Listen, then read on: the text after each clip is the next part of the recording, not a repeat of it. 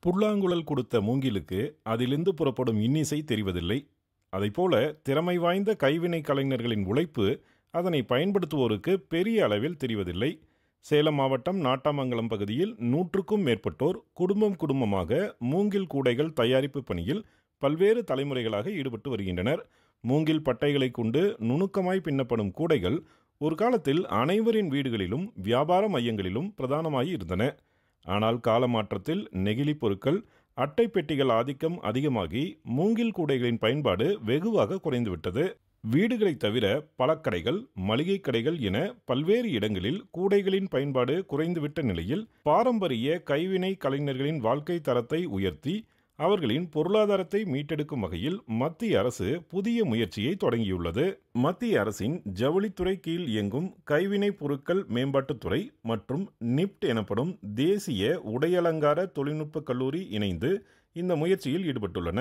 இக்கல்லூரியின் மாணவ மாணவியர் மூங்கிலிலிருந்து கைவினைப் பொருட்களை உருவாக்கும் நாட்டாமங்கலம் பகுதியில் பத்து நாட்கள் தங்கியிருந்து கைவினை கலைஞர்களின் செயல்பாடுகளை முழுமையாக ஆவணப்படுத்தியுள்ளனர் இந்த தகவல்கள் அடிப்படையில் ஆய்வு நடத்தப்பட்டு கைவினை கலைஞர்களின் படைப்புகளுக்கு தொழில்நுட்ப ரீதியிலான ஆதரவு மற்றும் அவர்களுக்கு தேசிய அளவிலான சந்தை வாய்ப்பு பயிற்சி அளிக்கப்படும் என்கிறார் தேசிய உடையலங்கார தொழில்நுட்ப கல்லூரி பேராசிரியர் விஜயலட்சுமி. இங்கேருந்து பத்து ஆர்டிசன் செலக்ட் பண்ணி சென்னை கேம்பஸில் ட்ரைனிங் பண்ணுவோம்.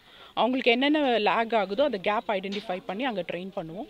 தென் அவங்களுக்கு கிராஃப்ட் பஜார் அப்படின்னு ஒரு ஆப்பர்ச்சுனிட்டி கொடுப்போம். இங்கே இருக்கிற ப்ராடக்ட் அங்கே சேல் பண்ணுறதுக்கு then craft based design project so அதில் ஸ்டூடெண்ட்ஸ் வந்து புதுசாக இந்த பேம்பு கிராஃப்டில் என்ன இன்ட்ரடியூஸ் பண்ணலாம் புதுசாக என்ன டிசைன்ஸ் கொடுக்கலாம் அப்படின்றத பற்றி இங்கே வந்து அவங்கள வச்சு பண்ண வைப்போம்.